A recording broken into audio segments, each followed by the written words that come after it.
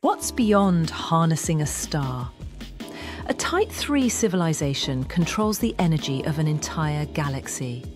That's billions of stars, over 10,016 watts of raw power.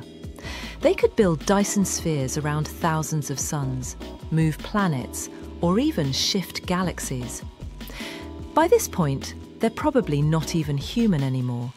AI, digital consciousness, hive minds, who knows? They might be immortal.